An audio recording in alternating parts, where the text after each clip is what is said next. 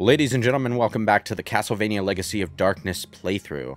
And we are continuing our exploration of the Not Spencer Mansion, which, even though it is clearly modeled after the Spencer Mansion, only has one direction that you can possibly go because the other door downstairs is locked. Also, the hallways are way too wide. What the hell's up with the 2D paper man? Oh, I, I, it's, it's actually pretty neat though because like, so they're they're they're soldiers that form from broken window glass. Yeah, I thought that was something that only MediEvil did. there, there, there's a, an enemy like that in um, Haunted Castle, actually, uh, which I know because of the remake. What? There, there was. It- that's it's a- right. yeah, I can't. Yeah, I, I, I want to say like, at the time of this recording, the the the 3ds, oh, the DS collection was uh revealed uh, and released, and I'm so happy about that. However, like the unsung champion of that was the remake of Haunted Castle that nobody asked for, but is nevertheless appreciated because now we have a good version of that. Is game. that a brand new remake, like, Yeah. for that collection? It's it's essentially Castle. You remember Castlevania Rebirth on on WiiWare or whatever the fuck it was? It's that. Like it's it's essentially a remake in the in lieu of that style. but they, they just released that brand new for no reason. Like, I don't know why they. it's yeah, it's a it's a part as of an it. need to extra in the Dominus for- collection. Yeah, it was a really cool Yeah. inclusion, you know. So like it that it, like the 3DS games together on their own would have been a fantastic value package for twenty five dollars. Yeah, no. But- I- um, trying to get even just one of them. A couple of years back, I went through the effort of trying to get all of the Dude, I the bought DS games. I bought a card only, no box, no manual version of Order of Ecclesia literally right before that fucking collection came out. It was twenty dollars on its own, and that was after price hunting. yeah, that was that was sounds similar to what I did as well. Um, Portrait of Ruin also wasn't cheap either, and I'm pretty sure the version I got was is bootlegged because I know that game's glitchy. My my copy's really glitchy. So, uh, It could just be regular portrait of Ruin. uh, no, I, I sent you a, a clip of it at one point where I was in one of the menus and my DS was perfectly fine at the time, and it was just like cycling through the menus as if I was holding down one of the buttons. Oh, Yeah, so I think my version might be bootlegged uh, of Portrait of Ruin. Uh, but yeah, no, um, they are. I'm just surprised that they felt the need to do that for that collection. I would have thought that like the the one that they eventually Yeah. make that has like the Game Boy games on them would get something like that. To That's kind of where I'm at though. It, like because so Castlevania Rebirth, the first one is a remake of Castlevania The Adventure, uh, the Game Boy Yeah. game.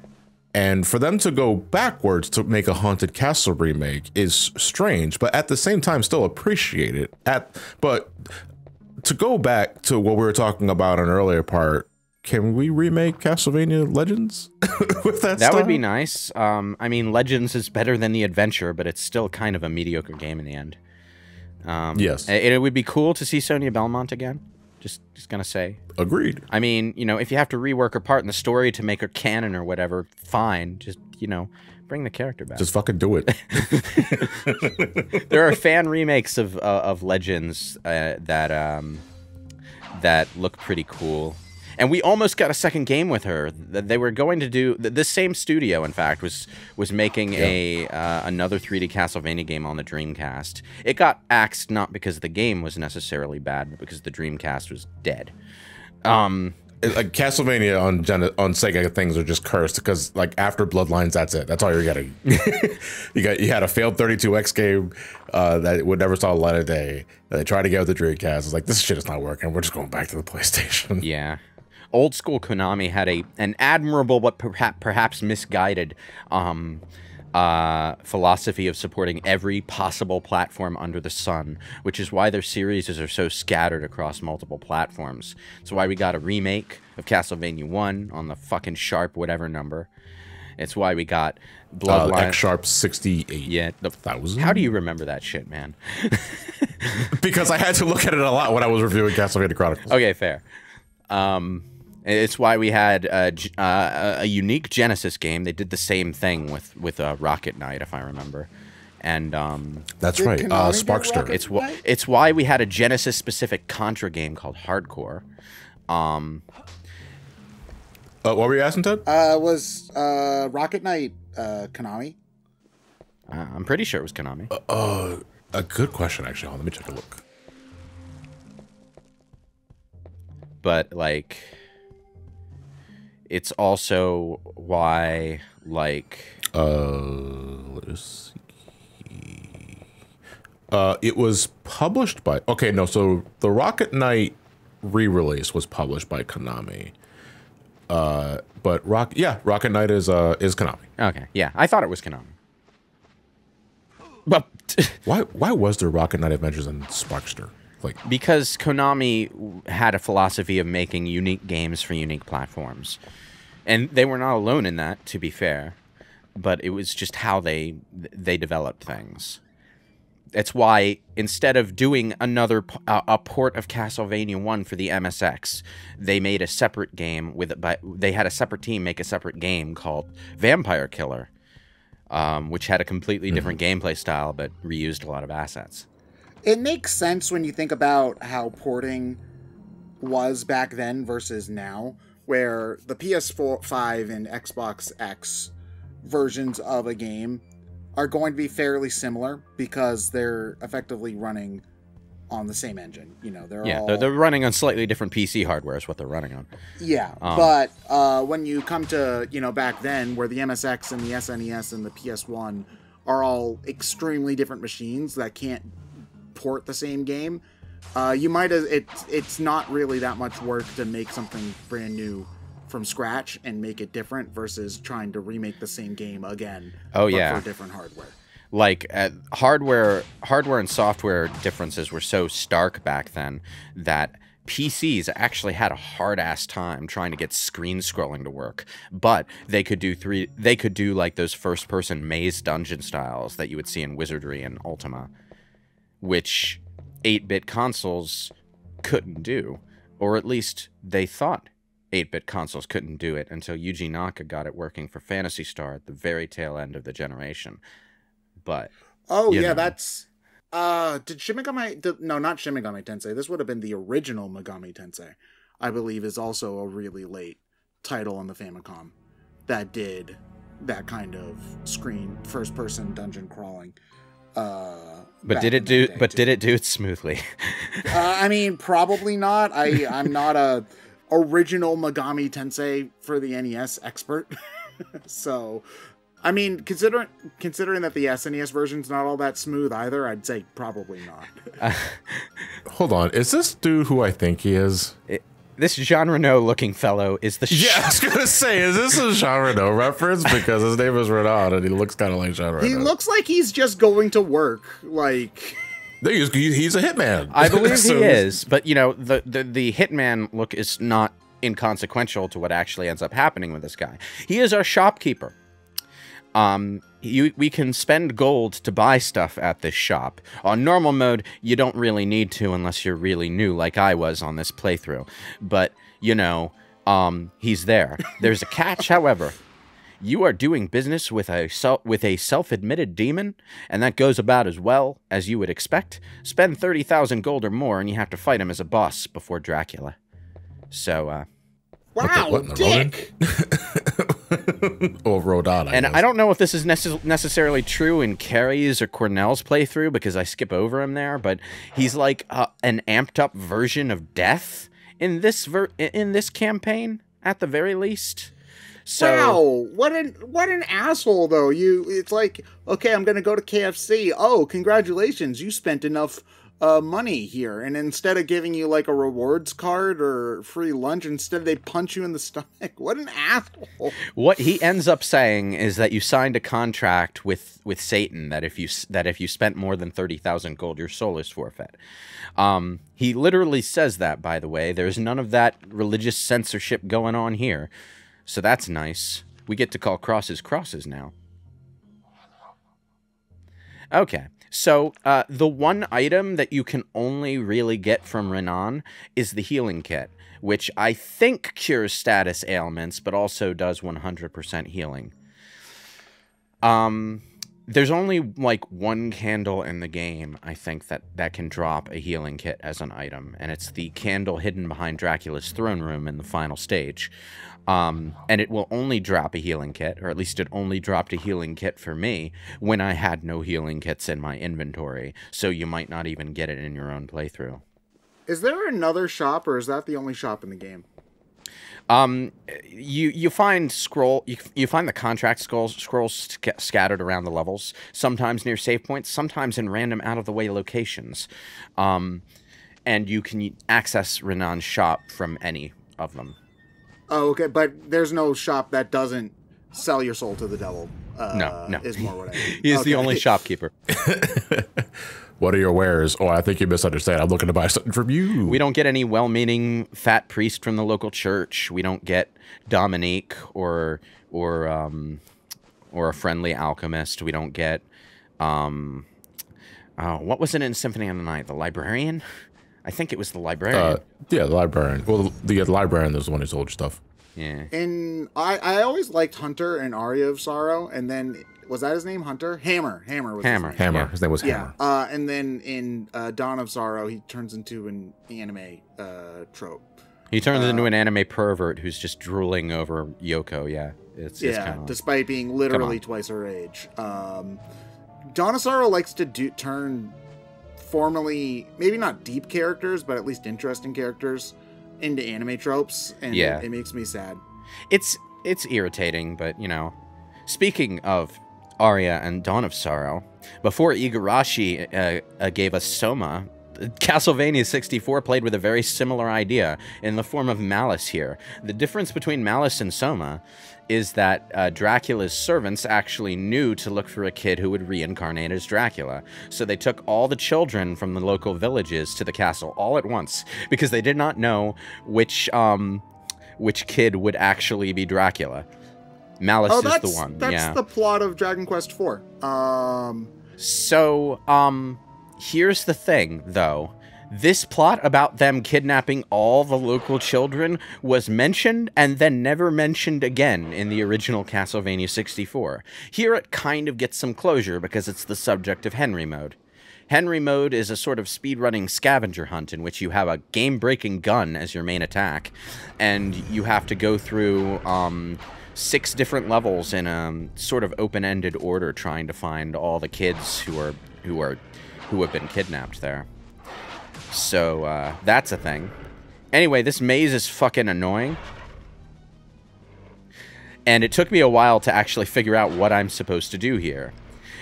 oh, do the dogs not die? The dogs don't die now. Does that Frankenstein monster have a chainsaw arm? That's badass. Yes. Okay. Interesting thing about this guy, okay, the gardener, Frankenstein's monster with a chainsaw arm, is sort of repurposed from the intended fourth character who never got made. Not even in this version. The original fourth campaign was not supposed to be Henry's quest to find a bunch of missing children. You were supposed to play as a different character called Collar. And yeah, this took a while. Uh, I'm um I didn't actually realize what I was supposed to do. But anyway, uh, Collar would have been our fourth character, which sounds like metal as hell. Like we would be playing as Frankenstein's monster, on top of playing as a werewolf and a Belmont and uh, Maria XP. so like they had some good ideas for this shit. And uh, I kind of like wish we lived in a world where they actually got to finish this fucking game. But you know, that's the story of our lives as Sonic fans, isn't it? No, uh, the story of our lives as Sonic fans is I hope this next game's good. So it, it's actually funny when you said that. Oh, the final boss is Malice. Uh, I thought it was like malice, as in oh, ill intent, and I was like, oh, that's actually badass. I know it's malice, like oh, Mal, it's us. Well, I mean, I mean, it's supposed to it's supposed to um, evoke the name the, the word malice in English, but um, you know they spelled it different so that it would believably work as a name. Oh yeah, well, if you run into the crying child in Dracula's castle and his name is Malice, M I L I C E, you're gonna be. Wait a minute. Hmm. At the same time, though, your first question upon meeting someone is, okay, how's that spelled? because if you tell me how it's spelled, I'll know the intent behind your name. well, if you ask me how your name's spelled, then I'm gonna think you're an Ace Attorney villain, because that's the one thing that I remember is that the second Ace Attorney game you get the criminal because he didn't know he tried to frame someone and didn't know how to spell their name, so it's like, oh, yeah, Yeah, my, my, my favorite my favorite criminal to prosecute in Ace Attorney was always I am the killer. I am D killer. Like, how did we not Hello, know? my name is Mr. Burns. I believe you have It's a letter gonna for be- me. really weird once I get to the Ace Attorney Investigations 2 official translation. Because as someone who played the fan translation way back, um, they also did their own pun names, but the new version has different pun names. So now I'm going to be very confused as to which character they're talking about. I don't understand. Anyway, um, so the gardener triggers automatically as soon as the dogs are triggered. But you can find him in the maze and he starts chasing you like without prompting. yeah, he's just he's just trying to do his job, and you're provoking him, man. Leave him alone. This guy is around way back in Cornell's story like 20 fucking years ago. Uh, I think it's more like 8, I don't know. I think it's 8 years ago. But he's like Double he's, like, reference, though. Still here. It's like a, it's a, it's this game's Frankenstein or Yeah. Frankenstein's creature. Yeah. Uh, but it's also an, another Evil Dead reference. Yeah, but like I but like I said, it it was it, it it was a, it was repurposed from a character that was intended to be playable. Can Now- you kill this guy, or is he invincible? You can you can knock him down and stun him, bit like Nemesis. was not, that was not ready for the pratfall. Actually, you know, he functions a lot more like Mr. X in the Resident Evil 2 remake, although just for this like one little area. Fuck, could you imagine Mr. X with a chainsaw arm? He also rubber bands like a motherfucker. Like, seriously, dude. Oh my god! Anyway, look at got- I can see him zooming. Wow. Yeah, yeah, like he's got some speed. Like holy shit. Now, um, this would be a good time to mention how sub weapons work in this game. There are four. You know, every one of the classic sub weapons except the stopwatch. Stopwatch would have been badass in this situation, though. It probably would be very broken in a 3D game, though. I would imagine because you could just walk around every enemy. yeah. Um, so instead of the stopwatch, we got the sun and moon cards. But the other four sub weapons are are present and accounted for. The like the knives do barely any damage. The axes are good, but they arc and have a tendency to hit to hit ceilings. And then there's the the uh, the cross boomerang, which um, can hit multiple targets before um, before it uh, gives up. So that's nice. But the champion of the show is the fucking holy water, which is, as usual, absolutely disgustingly powerful, especially in Legacy of Darkness, because unlike in the original Castlevania 64, you can upgrade your sub-weapons by picking up multiples of the same one. They can level up to stage 3, and if you get stage 3 in any weapon except the knife, which is always terrible, um, you can uh, you can do some like really cool you you can do some really cool uh, additional effects. Like the axe causes like lightning explosions and shit. It's great. Wasn't that a thing in Super Castlevania, or am I? I think it might have been another thing from Bloodlines, but I'm not sure. Um, Oh, what are we referring to The specifically? Sorry, upgrading sub weapons was that in a 2D game? Uh, the only game that comes to mind of upgrading sub weapons is Portrait of Ruin, ah. Oh yeah, uh, which is not cla- which is not classic Vania, but it's still 2D. you mean the mastery system? Mm-hmm. Yeah? Fuck that shit. It was repetitive as hell. Uh, It was better than grinding souls in Dawn of Sorrow. No, it wasn't. it was a sen- no, it was exactly the same thing. I I mean I didn't bother with it, so um, I'll take your word for it. But I thought it. The only sub weapons that have like a reasonably fast track to mastery are the few sub weapons that you can buy in shops. Because if you buy a duplicate sub weapon in a shop, you get 10 mastery points toward that sub weapon. You do not get those 10 mastery points with a, with a sub weapon if you pick up a duplicate that drops from an enemy, which is bullshit. okay.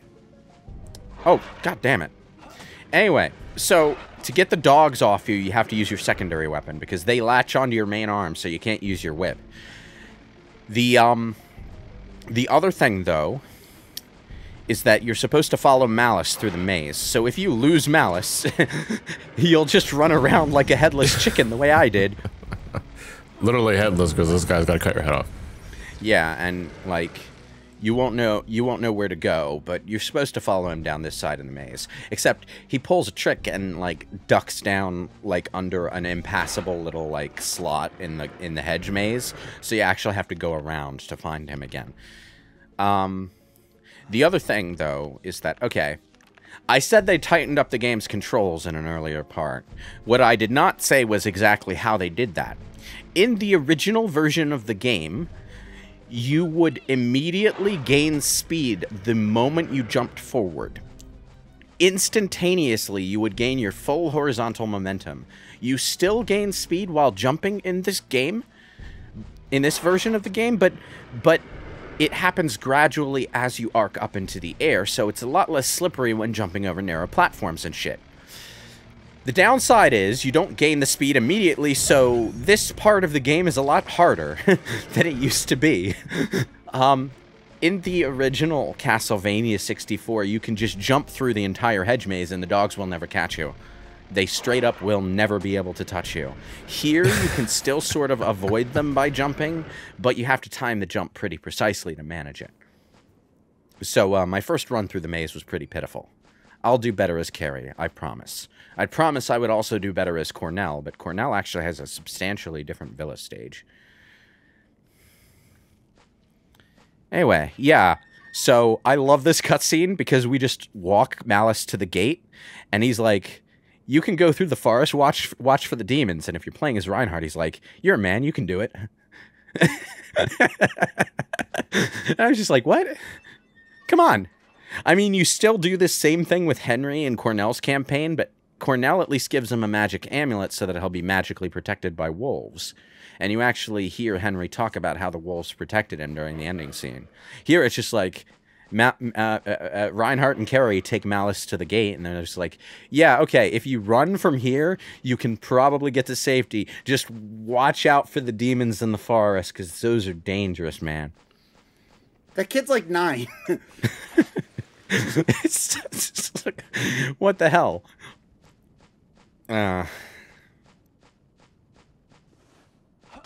and yeah, this this this um this hallway is kind of like obnoxiously empty afterward too. Not in Cornell's campaign though. Cornell gets to fight skeletons on motorcycles here.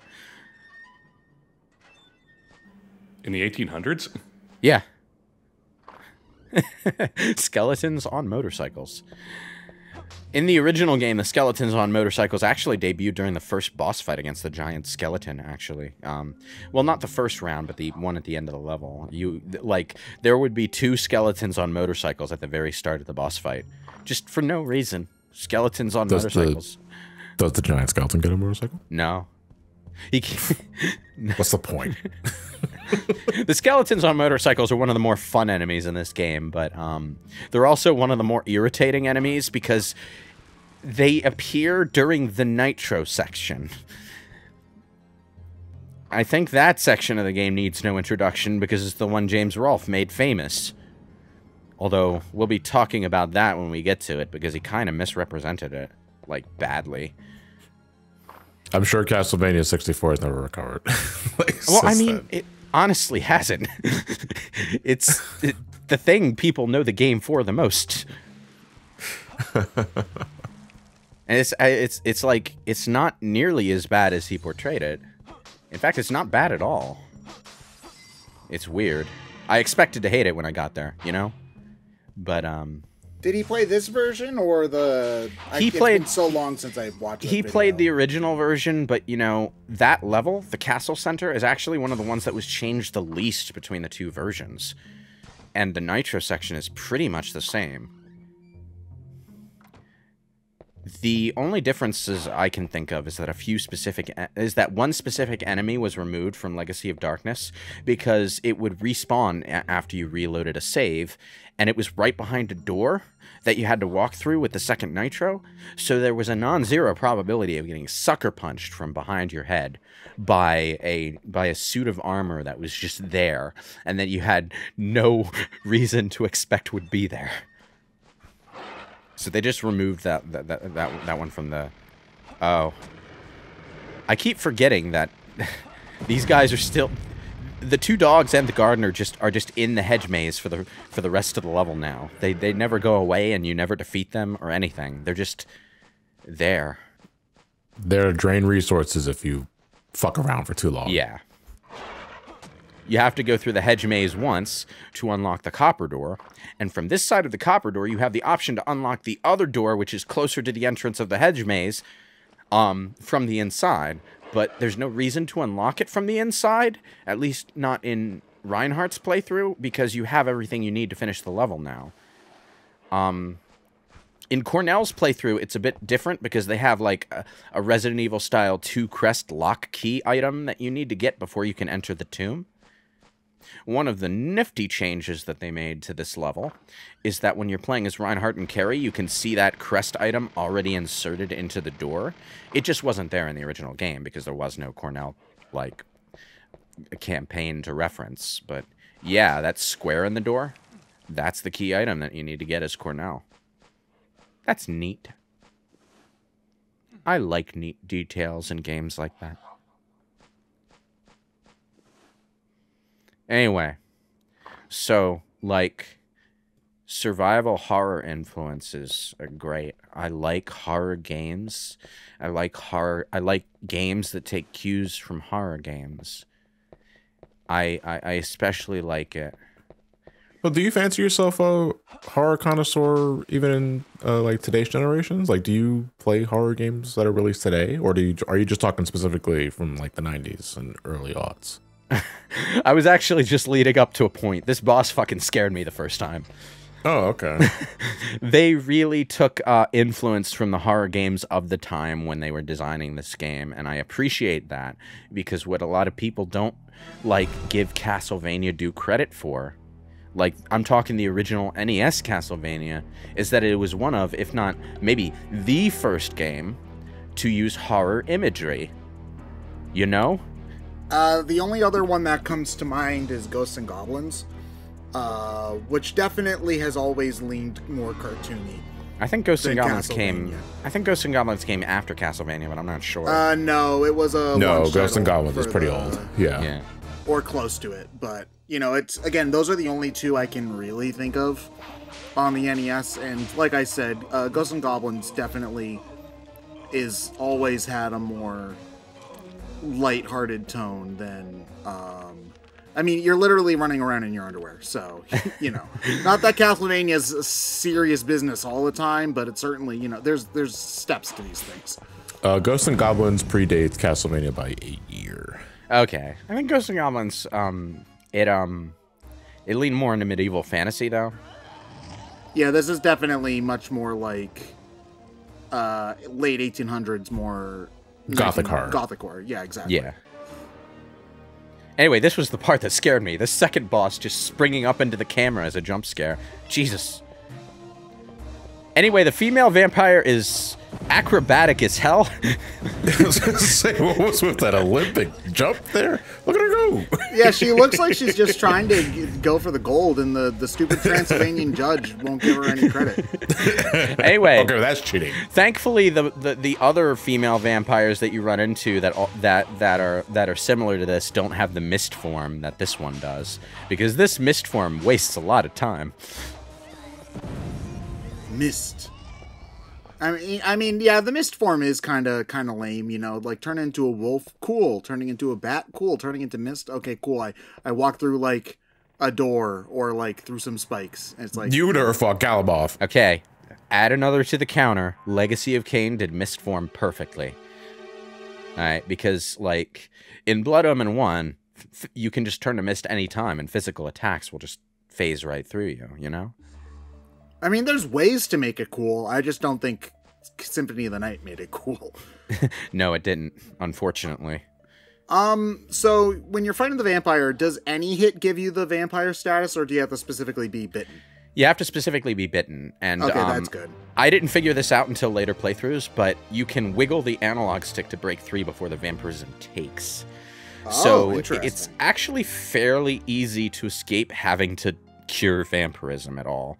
But um, It's more of a challenge of uh, how alert you are. Yeah, but keep a few purifying on you just in case, you know.